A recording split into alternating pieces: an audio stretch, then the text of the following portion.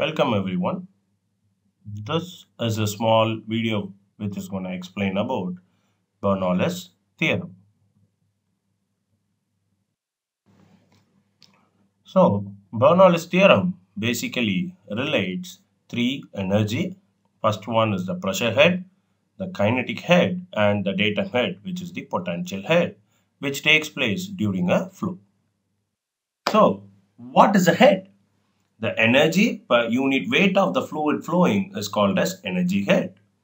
So Bernoulli's theorem states that the sum of pressure head, kinetic head and the datum head during a flow remains a constant. Thank you.